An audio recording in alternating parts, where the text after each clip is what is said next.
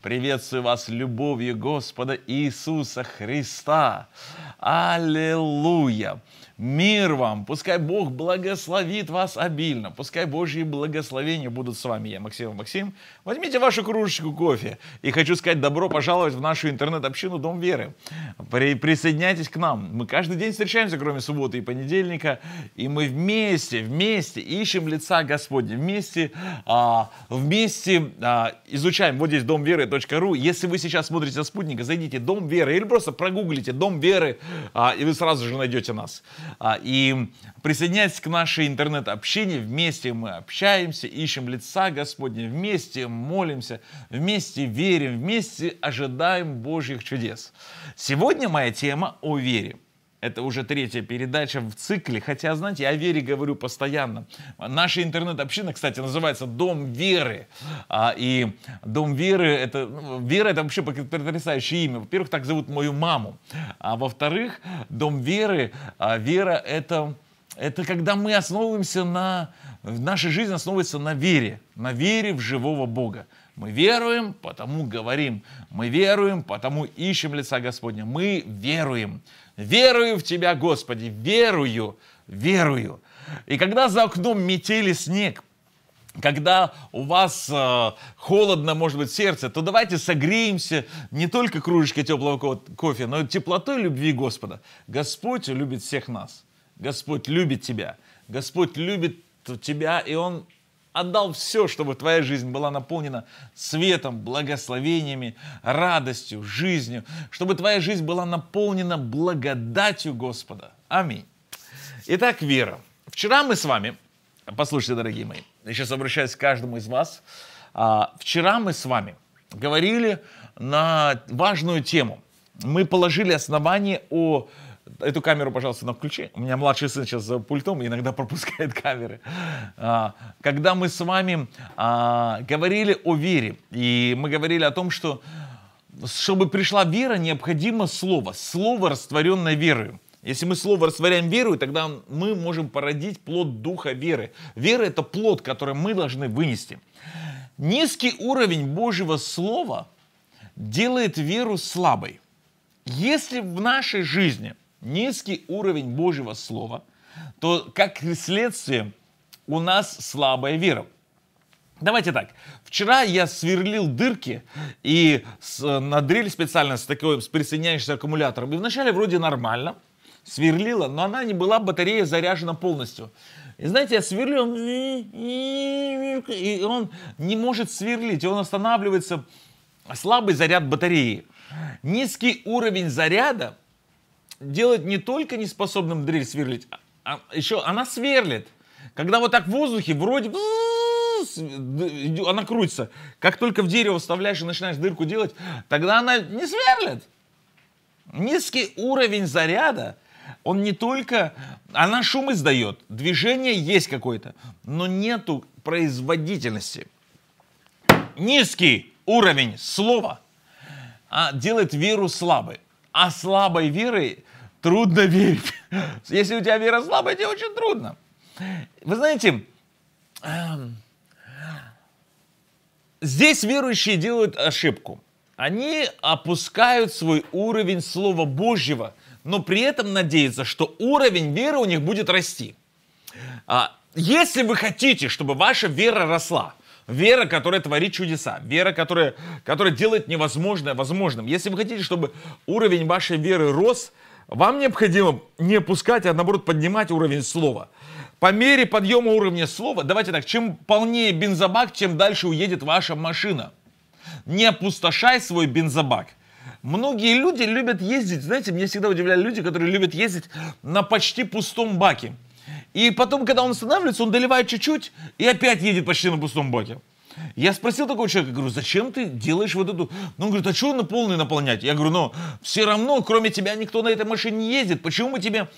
Моя позиция такая, пускай бак всегда будет почти полный. Даже если он наполовину, есть заправку проезжаешь, есть время, заправься. Лучше хранить свой бензобак почти полным. Не охрани бензобак на полупустом уровне. Многие, они всю жизнь хранят свой бензобак на полупустом уровне в надежде, что что-нибудь случится, что-нибудь произойдет, и а, у них машина поедет дальше. Не, наполните свою жизнь словом. Хотите ходить по вере, наполняйте жизнь словом. Хотите видеть чудеса, наполняйте жизнь словом. Хотите видеть Божью милость, наполняйте жизнь словом. Хотите видеть действующего Господа в вашей жизни словом. В начале было слово. В начале было слово. В начале было слово. Это фундаментальная истина. Хотите верить, имейте слово. Хотите сильную веру, нужно много слова. Вы знаете, когда мы употребляем неправильную духовную пищу, когда мы а, опускаем потребление слова и начинаем потреблять что угодно, кроме слова, а, мы не можем добиться ничего. Вера это не эмоциональная составляющая, это не эмоции.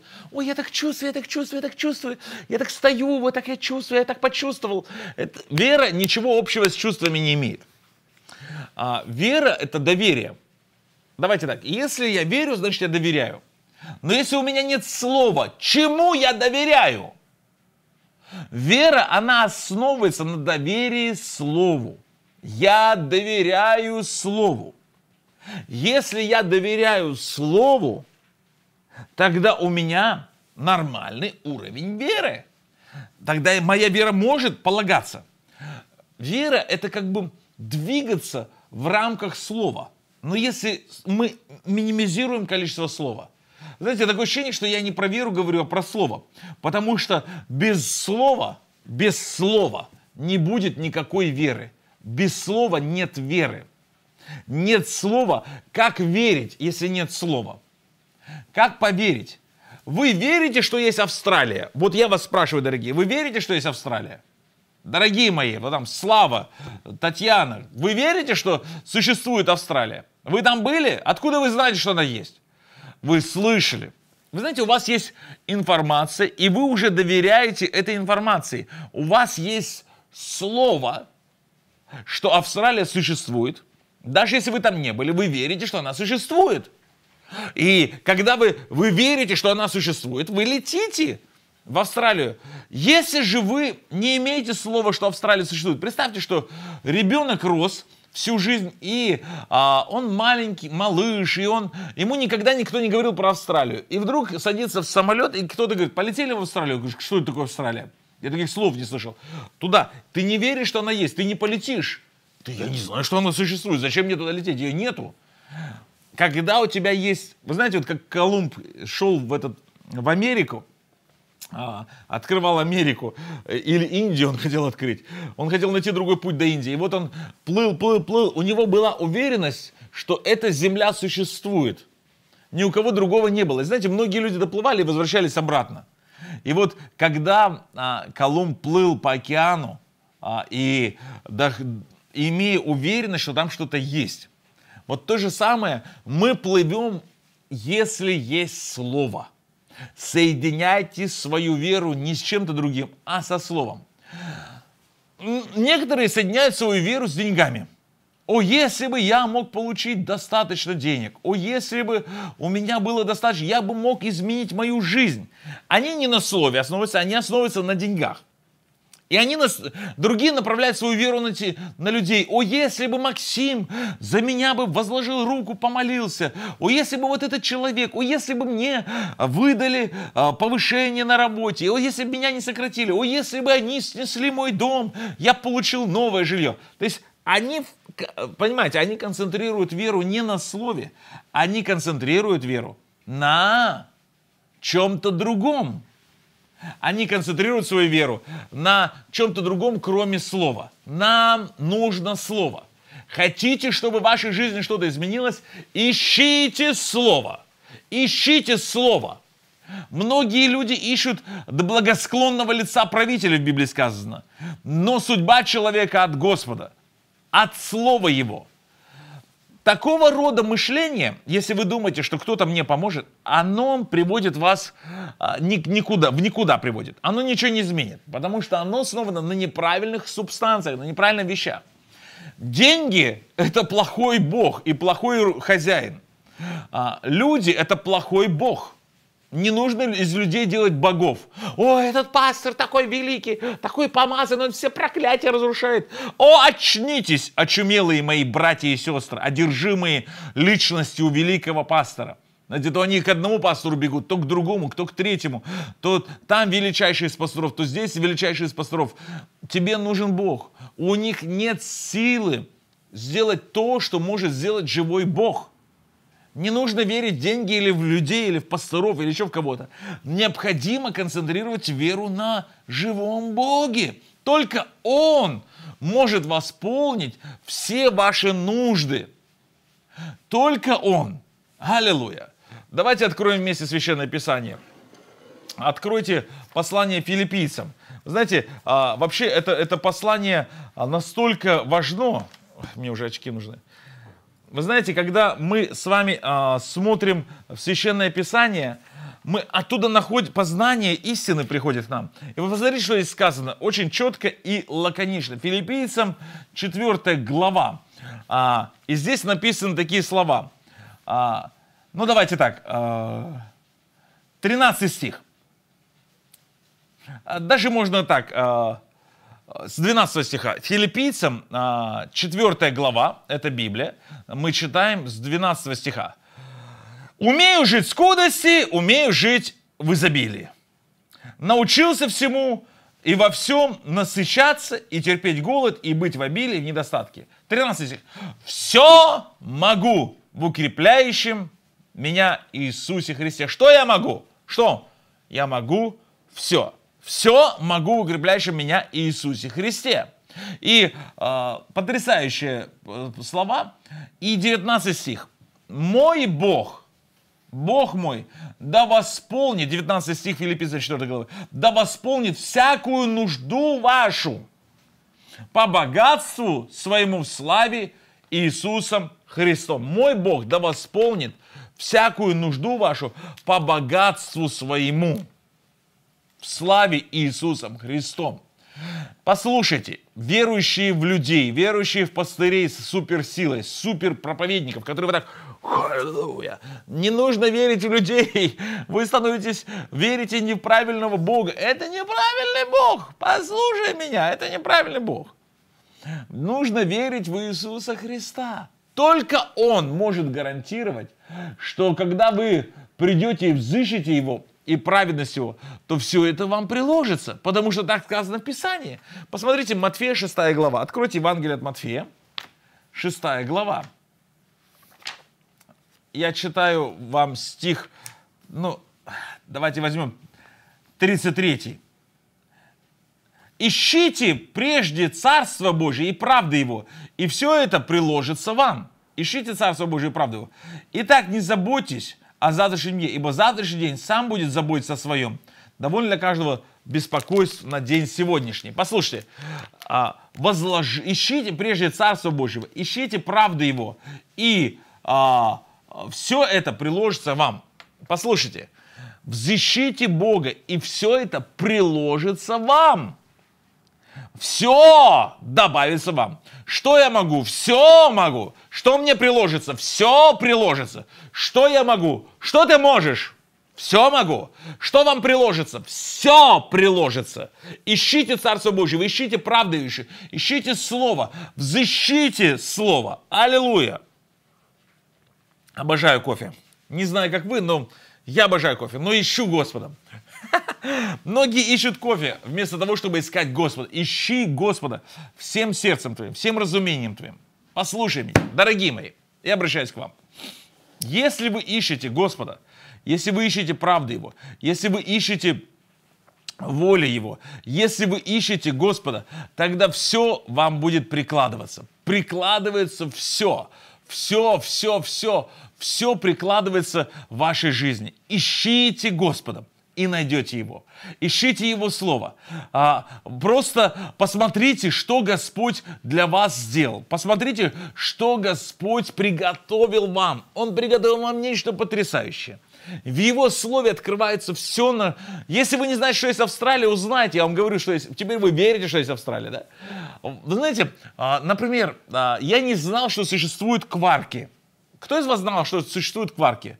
Кто из вас знает, что существуют кварки? Я сейчас обращаюсь. Константин из Перми. Вы знаете, что существуют кварки? Георгий из Нальчика. Вы знаете, что такое кварки? Кто из вас? Александр из Сукска-Виногорска. Скажите мне, вот вы сейчас там смотрите. Слава, существуют ли кварки? Что такое кварки? Кварки. Кто-то из вас слышал кварки? Что такое кварки? Кварки. Это лягушки или что это такое? Интересно, что многие люди, они э, живут, не подозревая о существовании кварков. А, знаете, когда я изучал начальные пылинки а, Вселенной, в Библии сказано, что Господь сотворил а, начальные пылинки Вселенной. Нет, это не космос. Кварк — это вот если все разбить до мельчайших частиц, атомы, нейтроны, вот эти, все вот это разбивать, разбивать, разбивать. Если вот так взять хорошо, нашинковать все, нашинковали все, материю. Самое начальное, что сейчас нашли, кварки. Меньше кварков ничего не существует в данный момент. То есть меньше кварков ничего. Кварки это начальные пылинки Вселенной. Так в Библии сказано, начальные пылинки Вселенной. Это то, из чего сделана материя. Вначале Бог сотворил небо и землю. Земля, это была не земля, не земной шар, а это была просто материя, кварки, из которых Господь создавал все. В начальную пылинку Вселенной. Я не знал. Ну, знаете, теперь я знаю. Теперь вы знаете, что есть кварки. Теперь у вас есть основания, вы верите, что кварки существуют. Хотя физически вы их не видели. А, то есть вы не, не можете расщепить материю до такой степени, но вы теперь верите, что они есть. Послушайте, вот, вот примерно вера такая же. Нам нужно знать э, все из Священного Писания, что Бог приготовил, что Бог говорит. Я все, послушайте, а, когда, когда здесь сказано, ищите Царство Божье, и все приложится вам, все приложится мне. Это основание моей христианской жизни. Мне все приложится. Это основание моей веры. Мне при... Бог при... все могу в укрепляющем меня Иисусе Христе. Это основание. Теперь, если мы берем слово, не человека, о, этот пастор, если он возложит руку, происходят чудеса. Хватит! Хватит сидеть и верить человека. Вам не нужно сидеть верить человека. Обратите свою веру Господу. Направьте свои, свои внутренние к Богу. Я понимаю, что Бог использует людей. Но почему вы их делаете идолов из них? Он такой великий. Не нужно делать ни из президента, ни из пастора, ни из кого идола. Не надо, не надо делать а, не надо делать а, из людей, из людей а, каких-то, каких-то, он такой великий, Бог великий, велик Господь, Он славен. Послушайте, когда мы говорим, есть много благословенных пастырей, но не идолизируйте или идеализируйте. Любой человек, любой пастор – это всего лишь человек. Когда мы говорим о Боге и Его Слове, это фундамент нашей жизни. Это основание, на котором мы строим. Все люди, кто полагаются и верят, что пастор, у нас такой помазанник, у нас такой слава Божья, такой... Послушайте, это слава Богу, что у вас есть церковь, слава Богу. Но если пастор заменил вам Иисуса Христа, то вы будете отвечать и он будет отвечать. Не вздумайте стать заменой Иисуса Христа. Не вздумайте приглашать к люди, людей к себе и говорить, придите ко мне, у меня есть источники жизни. Ничего у вас нету. У Бога все источники жизни. Ты ничтожество, припорошенное благодатью, воссиявшее, и не прославляй никакого, никакой прах. Все люди прах. Проклят всяк, полагаешься на человека. А? Вон оно как. Драгоценные, я стучусь к вам. Мне хочется, чтобы вы открыли для себя истину. Истина в Боге, в защите Его, и вам приложится. Слово Божие – это единственное, что может активизировать нашу веру, чтобы возбудить нашу веру. Бензин может активизировать вашу машину. а, вера активизируется словом. Слово Божье – это топливо для вашей веры. Насколько далеко вы хотите уйти? Я стучусь и обращаюсь к вам. Насколько далеко вы хотите уйти? Как далеко вы хотите продвинуться в вашей вере, в вашем хождении? О да, если вы хотите пройти далеко, вам необходимо, вам необходимо, однозначно необходимо э, начать принимать Слово. Принимая Слово, вы получаете заряд жизни для вашей веры. Ваша вера оживает. Ваша вера наполняется жизнью. Ваша вера начинает меняться. Ваша вера начинает двигаться. Аллилуйя. Дорогие мои, ваша вера начинает модифицироваться. Она становится сильной, крепкой. Дайте ей слово не надежду в человека, не упование на деньги, не упование, что ваш дом снесут. Нет, нет, нет, нет. Я уповаю на Господа Иисуса Христа. Я уповаю на живого Бога. Я уповаю на царя царей. Аллилуйя. Сосредоточьте свое внимание на слове. Начните процесс соединения. Что-то сильное происходит в вас. Не просто на тексте библейском. Активизируйте ваши отношения с Богом. Активизируйте ваше хождение с Богом. Активизируйте ваше... Активизируйтесь с Богом. Активизируйтесь. Аллилуйя, дорогие мои, я стучусь к вам, обращаюсь, прошу вас, дорогие мои, откройтесь, откройтесь для Божьего Слова. Откройте, чтобы Слово Божье входило в вашу жизнь. Аллилуйя. Дорогие мои, я обращаюсь к вам, вдохновляю вас искать Господа, вдохновляю вас искать Его Слово. Ваша вера может сделать невероятные вещи. Но если вы не получите Слово, если у вас не будет Слова, если у вас не будет с Божьего Слова, у вас не будет никакой веры. Аллилуйя! Ваша вера начинает действовать и поднимается тогда, когда она соприкасается с Словом. Теперь все, что нужно сделать вам, это освободить свою веру, позволить ей сделать свое дело. Получили Слово, вера активизировалась, теперь высвобождайте ее.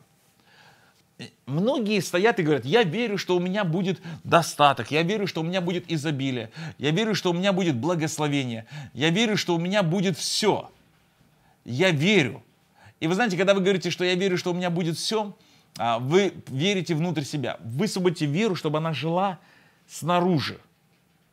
Чтобы ваша вера действовала. Чтобы ваша де- вера действовала вне вас. Чтобы ваша вера распространялась, расширялась. Чтобы ваша вера совершала великие чудеса.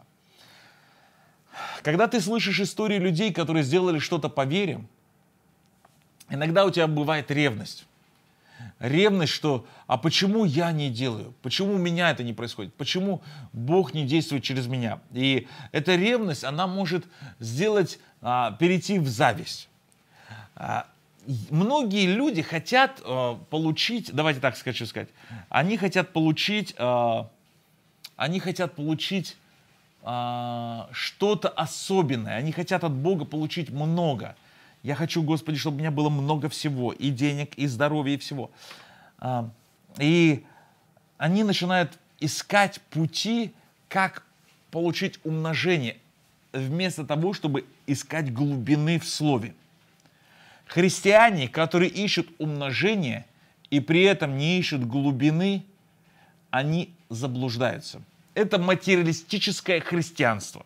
Христианство, которое основывается на на простом, э, давайте так, основывается на том, что наша вера, она принесет нам что-то хорошее.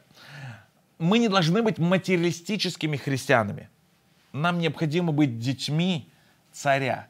Если мы углубляемся в слово, происходит умножение веры. Если же мы углубляемся в умножение, ничего не происходит.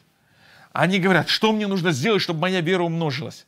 А, иди глубже. Что мне нужно сделать, чтобы моя вера поднялась? Иди глубже. Послушайте, я сейчас, я сейчас ко всем к вам стучусь. Послушайте. Что мне нужно сделать, чтобы моя вера а, расширялась? А, иди глубже.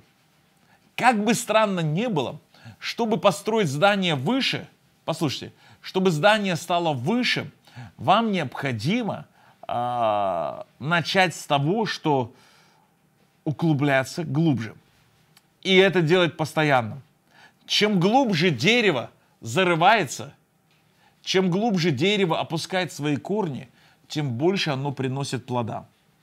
Вот такая обратная связь. Если вы хотите увидеть умножение, начните с углубления.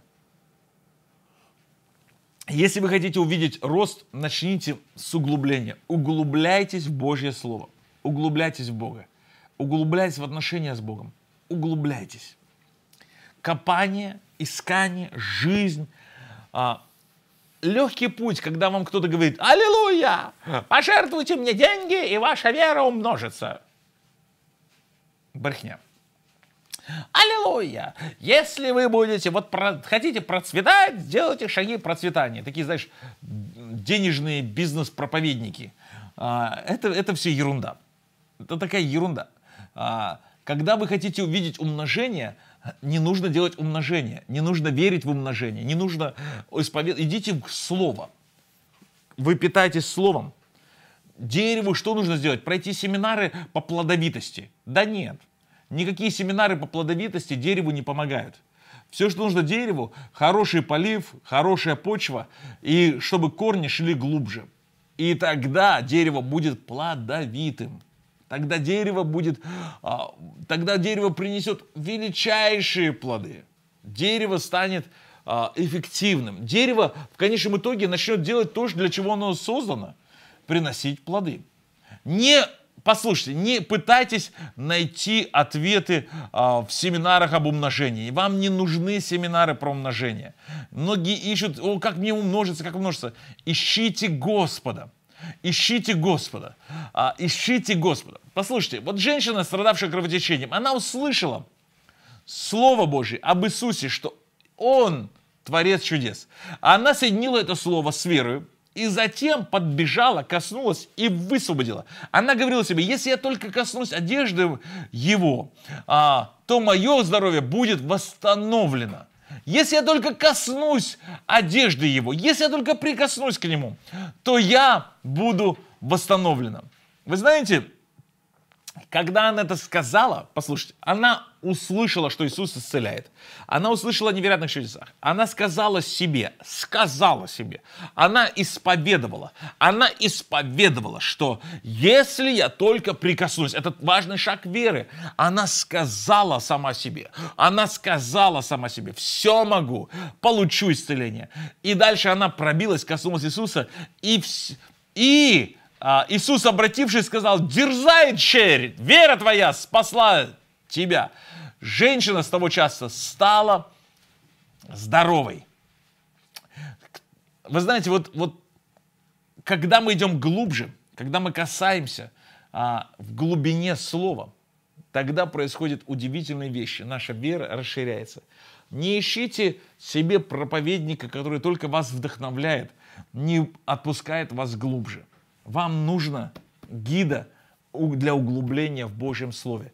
Слово, растворенное веру, порождает веру, вера высвобожденная производит действие, действие приносит результат. Бам, с расширением. Многие бегают по кругу, пытаясь расширить свой круг, вместо того, чтобы идти вглубь, ища Господа и правды Его. В конце я хочу помолиться и благословить вас. Господь Вседержитель, Царь царей, Господь Господствующий, Иисус Христос, я прошу Твоего благословения для каждого человека. Благослови драгоценных людей, благослови этих мужчин и женщин, благослови их жизни, направь на пути Твои. Пускай, Господь, они принимают Слово, углубляются в него, расширяют, погружаются в Слово. Я прошу Твоего благословения. Благослови, Господь, каждого из них. Благослови, Господь, их семьи. Молюсь, Господь, за каждого человека именем Иисуса Христа. Благословляю вас. Да пребудет Господь с тобою. во имя Иисуса Христа. Аминь. Дорогой Андрей Иванович, обращаюсь к вам. Обращаюсь ко всем вам. Вам необходим Господь. Не отвергайте Иисуса Христа. Принимайте Его Слово не просто как литературу, а как царя царей. Наш эфир подходит к концу. И я хочу сказать вам, дорогие мои, благословляю вас именем Иисуса Христа. Да пребудет с вами Господь, да явит Господь славу, да явит Господь силу, да откроет окна небесные, да изольет от Духа Своего на вас, да пребудет с вами Господь во имя Иисуса Христа. Да благословляю вас. Спасибо за то, что были сегодня со мною. Хочу сказать спасибо вам за партнерство, за участие, за то, что вы поддерживаете Божье дело. Благословит вас Господь. Встретимся с вами каждый день, кроме субботы и понедельника, в это же время, в этом же эфире. Благословляю вас во имя Иисуса Христа. Спасибо вам за партнерство и за ваши десятины. Хранит вас Господь.